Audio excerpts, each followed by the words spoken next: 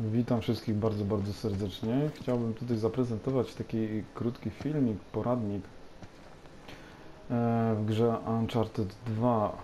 Chodzi mi o to, żeby pokazać na tym filmie, jak dostać się z tego miejsca tutaj, ponieważ jest tam ukryty skarb numer 80, który potrzebujemy zdobyć. Ja grając w tę grę miałem, miałem dużo problemów, no ciągle spadałem, nie wiedziałem jak to zrobić. No ale w końcu udało mi się e, znaleźć taki sposób. No i chcę Wam go pokazać. Mamy tu takiego wypasionego Drake'a.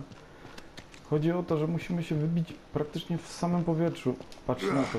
Jak Drake już jest w powietrzu. Spróbuję to jeszcze raz pokazać. Powinno się udać bez problemu. O. On musi całkowicie być w powietrzu. I wtedy naciskam klawisz skoku. Pokażę Wam, gdzie jest ten skarb, choć ja już go nie posiadam. No bo już go zebrałem wcześniej, ale on się znajduje gdzieś tutaj, jest przymocowany. Trzeba do niego strzelić i on spada i go zabieramy. Także niby taka banalna rzecz, ale no ja tu kilkanaście, może nawet kilkadziesiąt razy zginąłem. Po prostu nerwy już mnie brały, no i w końcu się udało i chcę Wam pokazać, jak się to robi. Jakby ktoś miał takie problemy jak ja.